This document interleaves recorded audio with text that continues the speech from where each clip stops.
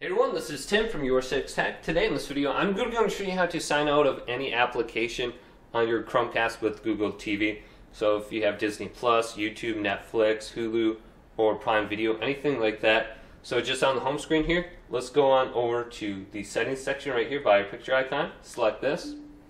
Now go on down to apps, then go to the right, and then go to see all apps and go to the application you want to sign out of. So if I want to sign out of like YouTube, I'll go to the right, then go on down to where it says clear data. You want to specifically go to this one, not the one underneath it, clear cache.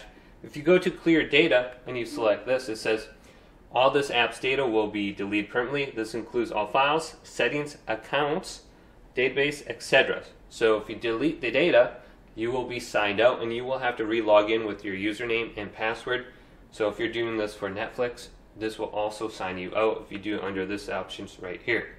So hopefully this video did indeed help you out. If did, leave it a big thumbs up and subscribe to my channel down below for more tech up videos coming up next on Your 6 Tech.